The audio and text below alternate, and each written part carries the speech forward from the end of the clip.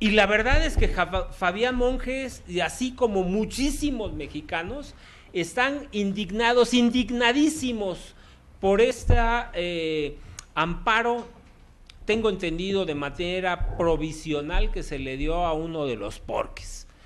Y discutíamos en ese momento entre Fabián y yo si el tipo penal de violación se cumplía en el caso de que nos ocupa, ¿no? De, el amparo.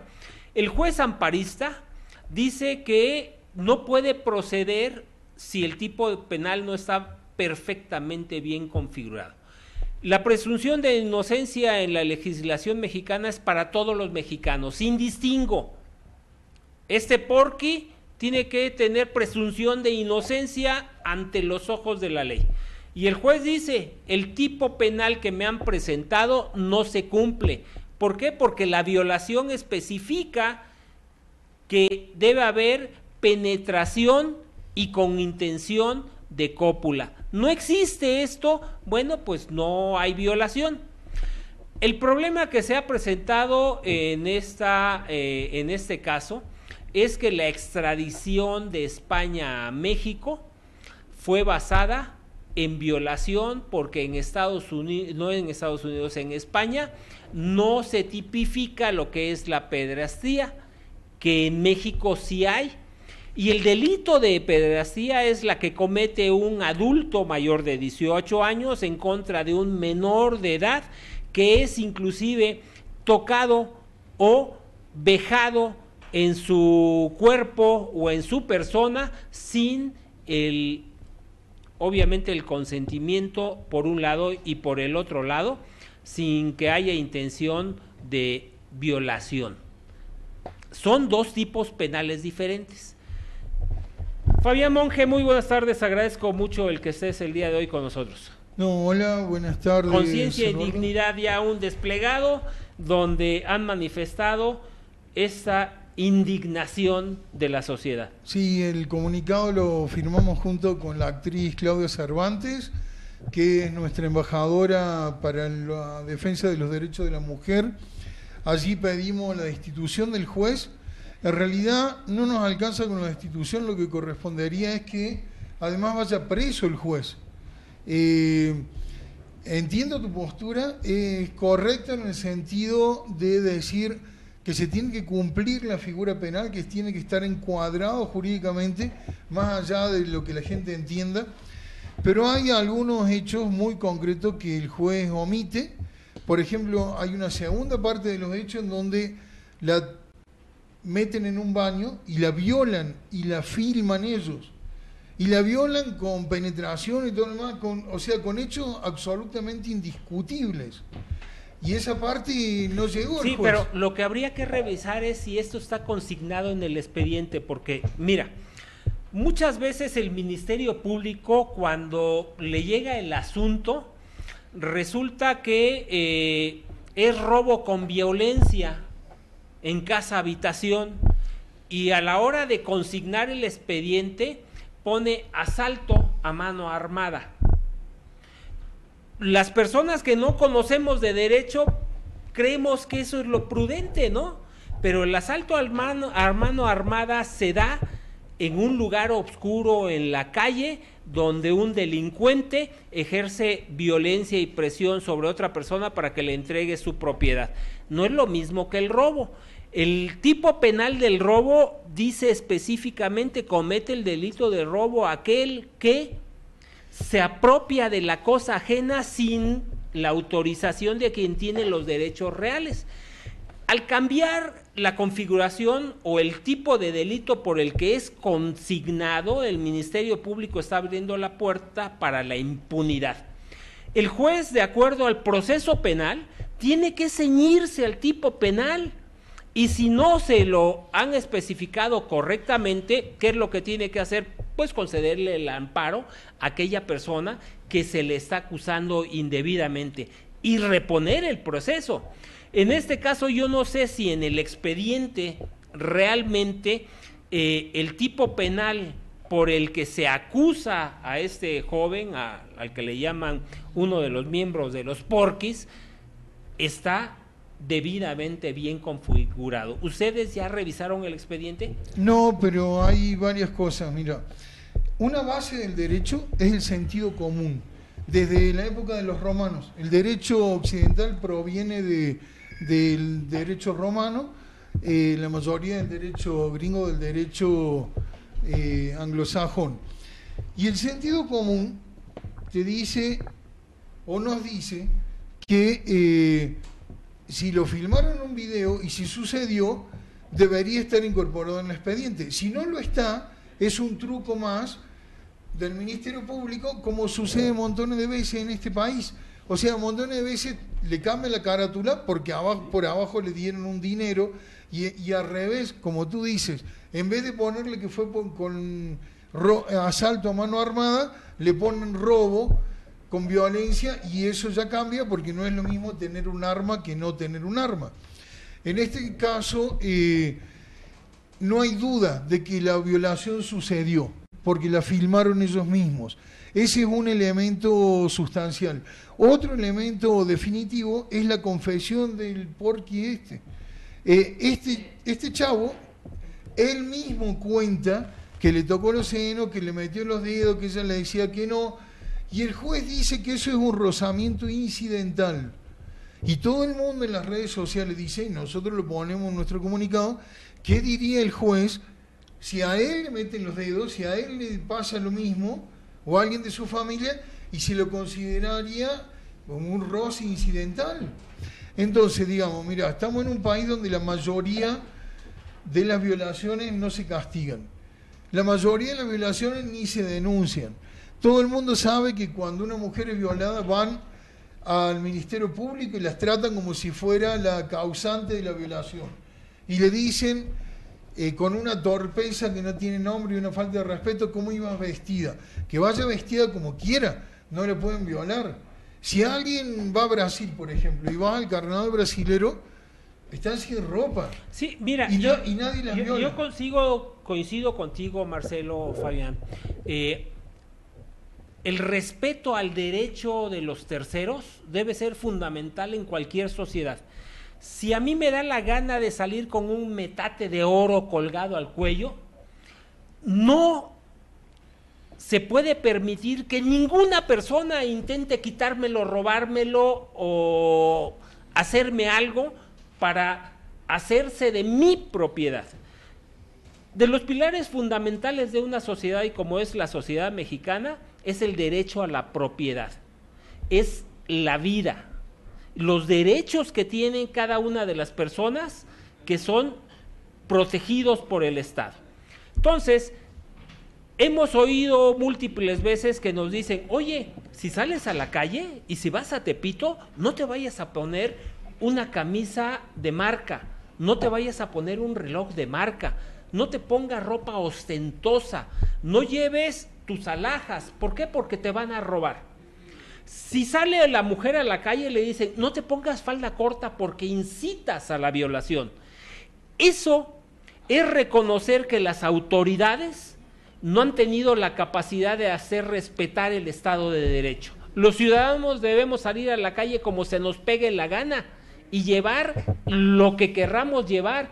El Estado es el que está obligada a darnos seguridad, seguridad jurídica en nuestros bienes y en nuestras personas. Sin lugar a dudas que lo que has dicho es muy cierto, pero el juez no puede actuar de una manera eh, por sentido común, pensarle que el sentido común para una persona sea el que eh, es la base del derecho. en la violación sí es base del derecho pero el derecho penal en México establece que el sentido común que aplique el juez está en función de lo que dicta la norma y la ley. No puede ir por encima de la norma y la ley. ¿eh?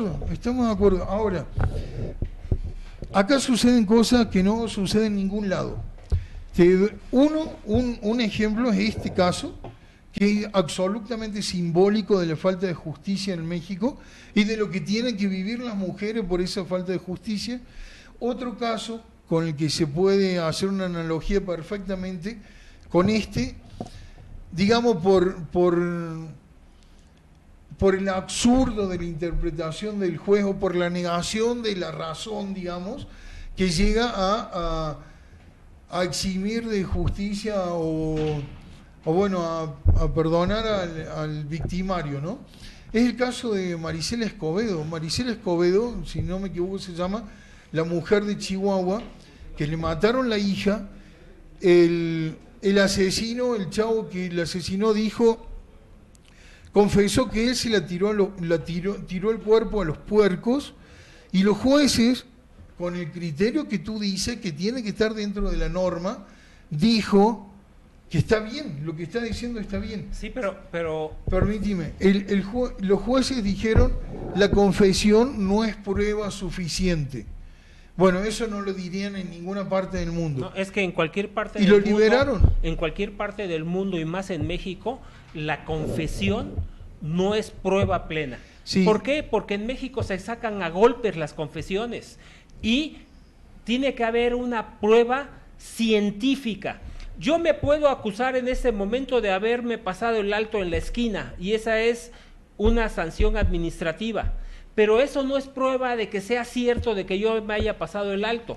Debe haber elementos de prueba, de convicción, como son los videos, como es la presencial, por ejemplo, de un agente de tránsito que me haya visto que, que me pasé el alto. La simple confesión ya no es prueba. Antes en México, las reinas de las pruebas era la confesión, la confesional.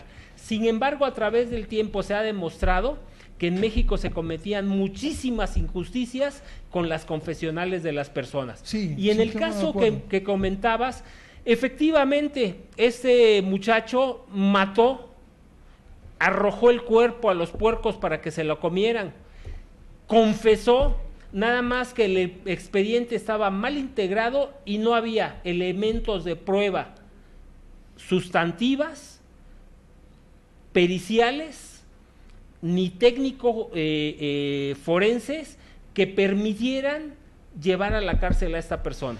¿Qué fue lo que sucedió? Pues que se integró mal el expediente, ¿Qué es lo que viene sucediendo en estos casos. ¿eh? Bueno, entonces una pregunta. En tu punto de vista, si como una recurrente permanente es la integración mal de los expedientes, ya sea por la falta de capacitación de los ministerios públicos, por, por la mala fe, ¿eh? Exacto, porque esa es otra, porque hay gente que lo hace a propósito para que el proceso termine en la nada. Eh, y, como no se construye el mecanismo, ni hay una, para que eso no suceda, ni hay una reforma verdadera del sistema judicial que, que sea integral y que termine con todo eso. La única perspectiva sería hasta que se formen generaciones distintas de gente, de jóvenes que tengan otra conciencia, otro estudio, otra capacidad, otra moral, que no tengan esa mala fe o que no integren mal los expedientes sin querer o a propósito, y para eso faltan cinco generaciones. Mira, Fabián, me preguntas eh, como comunicador, ¿cuál es mi óptica en esto? Las leyes están bien integradas, nada más que hay que cumplirlas, por un lado. Por el otro lado, eh, las injusticias que se cometen, aquellos que tenemos medios de comunicación o tú que presides una organización eh, social, tenemos la obligación de denunciarlo para que se conozca en la sociedad y se puedan realizar los cambios, porque si no, va a seguir sucediendo lo que ha venido sucediendo.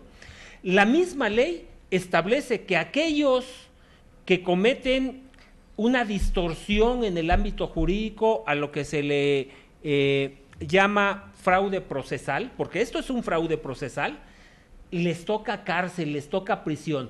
¿Qué es lo que se tiene que hacer? Uno, lo que tú estás haciendo, denunciar el hecho y lo que estamos haciendo nosotros, ponerlos en perspectiva para que la sociedad pueda actuar en consecuencia. No se le puede pedir a un juez, por eso te decía que habría que revisar el expediente. Yo no lo he tenido en mis manos para revisarlo y decir, es culpa del juez, o es culpa del Ministerio Público, o es culpa del primer declarante, el que presentó la denuncia de hechos porque no presentó los elementos suficientes para la investigación. Pero creo que como sociedad no podemos permitir que se sigan dando este tipo de injusticias.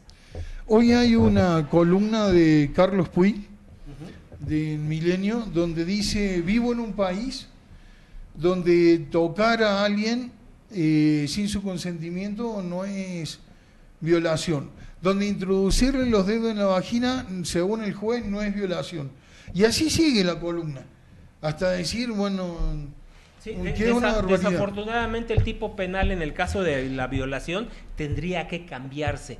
¿Por qué? Porque la violación establece el que haya penetración con fines de cópula. Y si no lo hay, pues el tipo penal no se cumple.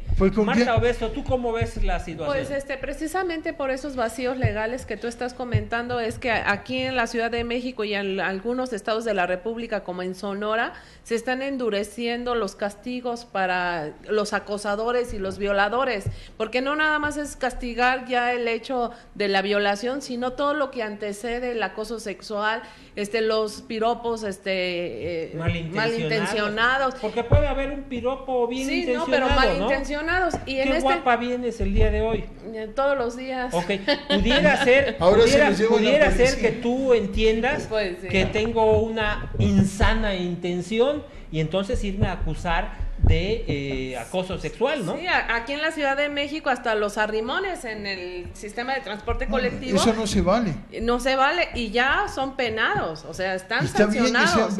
Y entonces hacia allá vamos. En el caso este de la de los porquis, a mí me indigna mucho porque es una niña que también es una menor de edad. Hay que ver los derechos superiores de la infancia y de los adolescentes que no los pierdan de vista los jueces. Y evidentemente estos chicos actuaron mal, de manera mal intencionada. Eso es evidente y no se necesita ser juez ni conocer de leyes para saber que le faltaron al respeto y le violentaron los derechos. Digamos, el caso más extremo de esta situación es la violación. Y a la chica la violaron. La violaron. Y en ese sentido yo me pregunto, ¿dónde están las senadoras que son mujeres? ¿Dónde están los senadores que se supone que son correctos? ¿Cómo se llama la corredora? Ana, Gabriela, Guevara, que también la acaban de golpear y debería Le violaron sus derechos. Ana, Gabriela, Ana Gabriela perdonó y me respondió en Twitter porque nosotros mandamos la nota que ustedes nos hicieron el favor de subir a su portal, el comunicado y se la mandamos a todos los senadores diciendo no vemos que los senadores o pues y los diputados se indignen por esto. Y Ana Gabriela fue la única que nos contestó diciendo eh, ayer marqué una posición en mi Twitter que no me parece suficiente para nada y dijo estamos preparando un escrito sobre esto Cosa que y, otra cosa que a mí me gustaría resaltar y que hay que este, reconocer el valor que tuvo la jovencita de denunciar los hechos. Ese es un ejemplo a seguir y es una eh, es un parteaguas de cómo se deben de atender estas situaciones tan graves. Y no merece ser víctima dos veces ahora por culpa de la justicia. Así es. Entonces. Con respecto a los senadores, para terminar, eh, sí, a mí me llama la atención. Yo creo que muy buena parte de, esa clase política y los diputados, pero particularmente los senadores, lo ven como, bueno, pasó en Veracruz y es una chica allá lejos, y ellos trabajan más por sus estados, y me parece una mentalidad de rancho, eh, y que no están enterados en el caso de muchos de ellos, de que son senadores de la República y les debe ocupar todos los problemas del país, no únicamente los de Zapopan o los de o los de la región en donde nacieron. Mira, les voy a leer el tipo penal de violación. Dice, el delito de violación eh, consiste en acceder carnalmente por vía vaginal, anal o bucal a una persona mayor de 14 años, ya sea usando fuerza o, intimidad, o intimidación, aprovechando la incapacidad de la víctima para oponer resistencia o que se halle fuera de sentido o abusando de enajenación o trastorno mental de la víctima. Desafortunadamente, ese es el tipo penal de violación.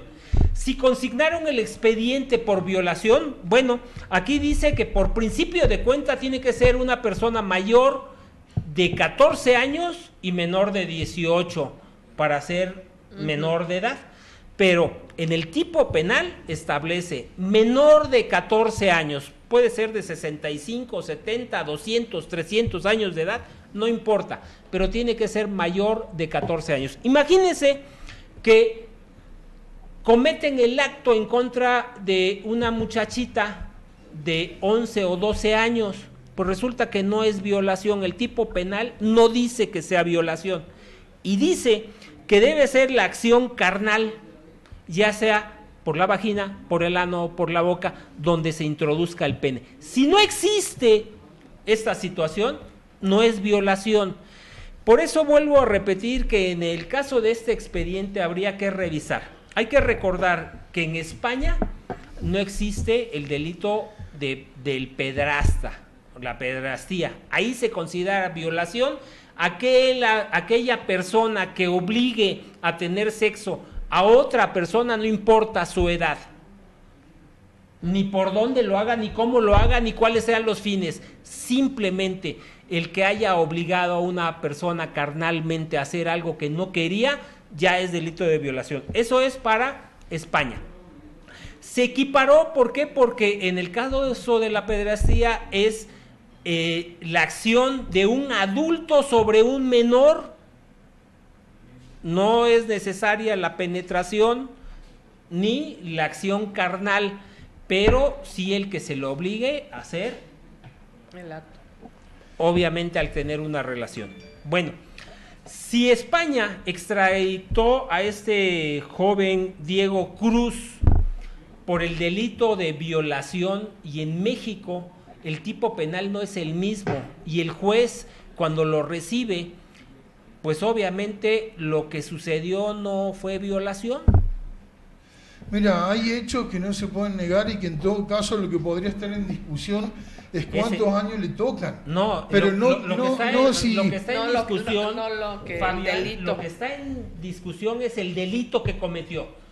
No pueden consignarlo ante el juez por el delito de violación porque no cometió violación ¿Qué fue lo que cometieron? Pues realmente es un acto de pedrastía. Mira, hay una parte que el juez reconoce que, que se vuelve un absurdo en cómo concluye. Ah, el juez reconoce que el chico dijo que le, le tocó los senos y le introdujo los dedos en la vagina.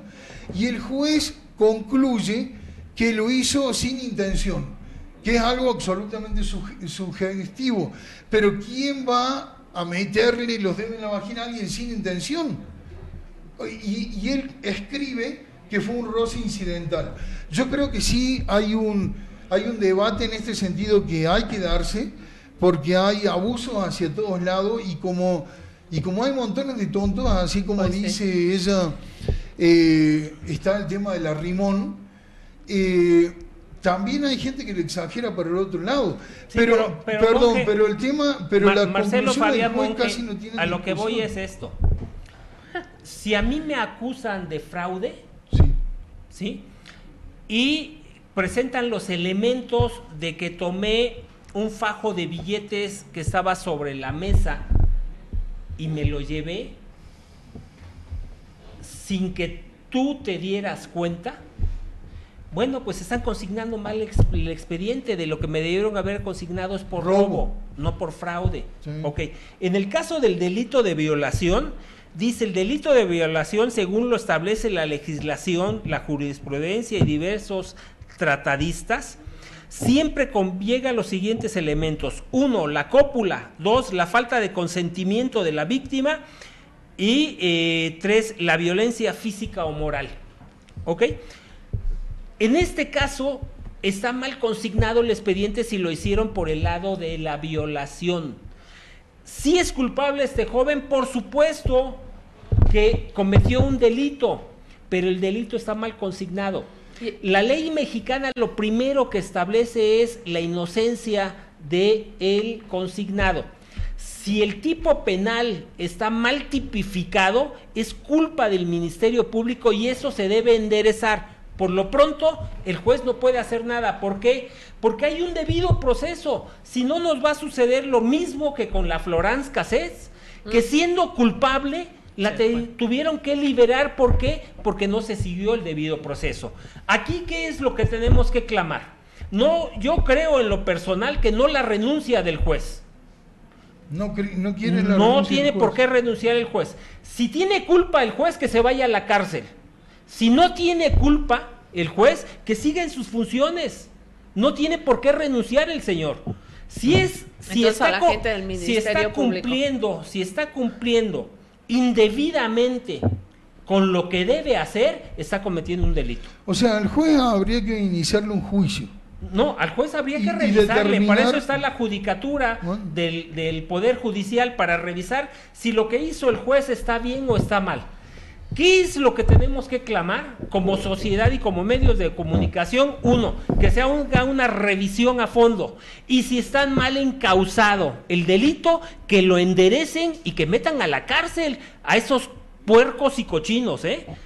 Porque de que son culpables, son culpables.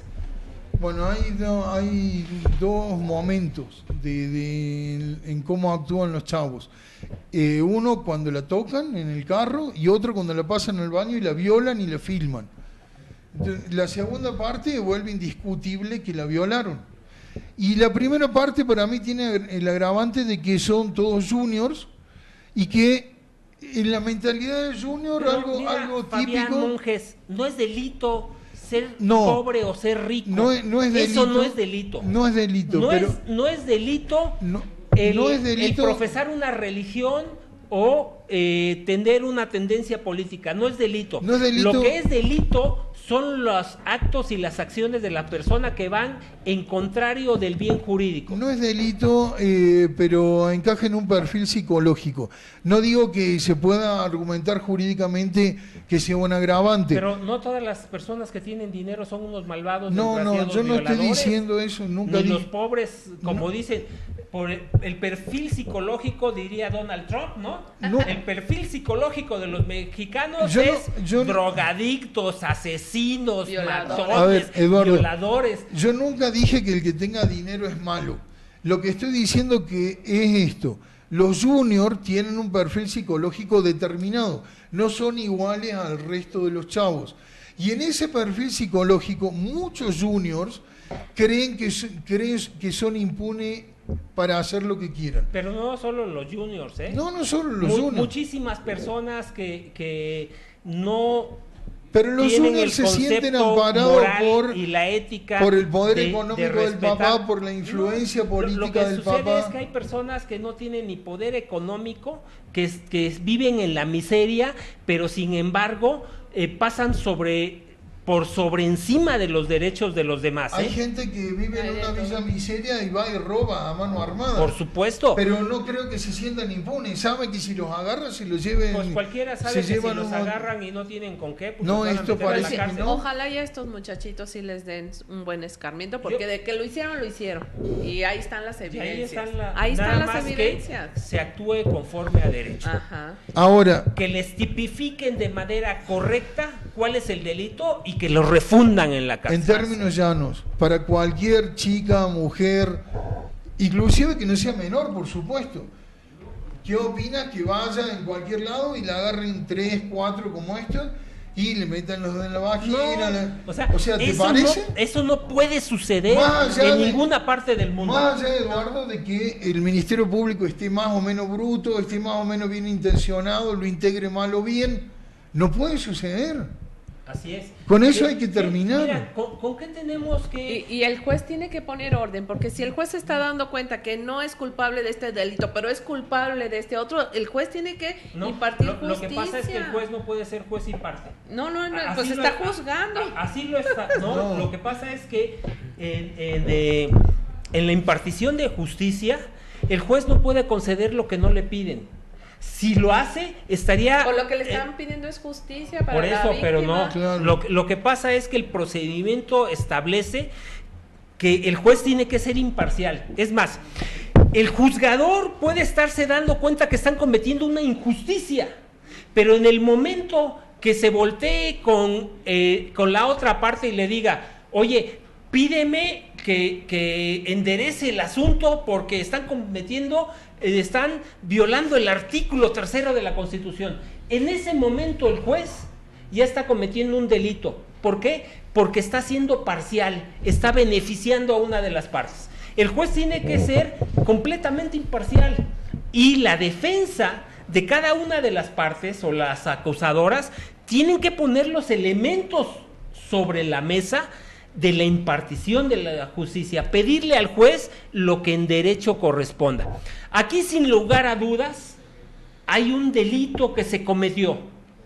Por estos porquis, por estos puercos, sí, bueno, que el Ministerio Público, que es el órgano investigador, recabe los elementos jurídicos de prueba, tanto eh, científicos como técnicos, para que los refundan en la cárcel. Y si no lo hace así, que lo metan a la cárcel. El Ministerio Público ahí es responsable. Y si el juez es responsable, pues que lo metan a la cárcel también. Bueno, en ese sentido hacemos un llamado para todas las mujeres para que levanten la voz, para que no se queden con este caso, para que se convierta en un caso simbólico de la injusticia en México, de la falta de funcionamiento del Poder Judicial, de lo que tienen que vivir las mujeres en México y en esto sí hace falta un debate a fondo. ¿Por qué? Por ejemplo, eh, ella cita el tema de los arrimones. Yo creo que los arrimones se deben a individuos absolutamente incapaces de conseguirse una mujer por cuenta propia, por talento, por, por tener buena mano para levantársela. Y entonces están viendo a ver cómo la tocan un poquito. Yo, no creo que sea tanto así, ¿eh? porque hay mujeres que también dan sus arrimones a los hombres. Ah, no, yo creí que vas, en el vas, en el camión y de repente se te pegan y tú dices, pues, ¿qué pasó? Bueno, pueden haber muchos objetivos, ¿eh? inclusive hasta la extorsión, pero yo creo que eso es motivo de, otro programa. Marta, ¿con qué concluyes? Bueno, pues este, yo, este, a la chica, la víctima, Dafne, que no se dé por vencida, que no está sola, que muchas mujeres de México compartimos su, su causa, su, este, su dolor, y vamos a estar al pendiente para llevar a estos jóvenes que se cumpla la justicia y que, y que se les castigue como debe de ser. No podemos seguir permitiendo que en México sigan pasando estas cosas. Fabián Monge. Yo valoro que el día de ayer eh, inmediatamente salieron algunas mujeres, incluso acá en la Ciudad de México, fueron a la representación de la, eh, Casa de Veracruz, del gobierno de Veracruz, y se manifestaron inmediatamente cuando habitualmente todo eso acá es, es lento y es difícil. O sea, fue tal el grado de, de indignación que hubo manifestación en distintos lados inmediatamente. Yo creo que eso tiene que seguir, que no puede perder esta niña la causa contra la Dafne Fernández, la causa en la justicia y que hay que mantener la mira en el juez y a mi entender tendría que ir preso. Bueno, pues yo te voy a decir, Fabián Monje y Marta Obeso. Obeso Suro. Eso. Bueno, que lo fundamental en los medios de comunicación es uno, comunicar y darle información en cuanto a tener todos los puntos de vista y los elementos suficientes para una adecuada toma de decisión. Lo que debemos reclamar los comunicadores, la sociedad toda en su conjunto, es el cumplimiento del Estado de Derecho, que se haga justicia, que se haga lo que se tiene que hacer, apegado a la norma. ¿Qué ha sucedido aquí? Probablemente un juez haya actuado de mala manera o el Ministerio Público o la presentación de los elementos de prueba. Hay que enderezarlo y hay que hacer justicia. Soy Eduardo Ramos Fuster, agradezco el favor de su atención. Los invito a que me escuchen mañana a partir de las 5 de la tarde en el punto crítico de la noticia. Muchas gracias. La Universidad de la UAI es donde puedes cursar tu carrera en tan solo tres años y en dos más tu especialidad y maestría. Te ofrece hasta un 50% de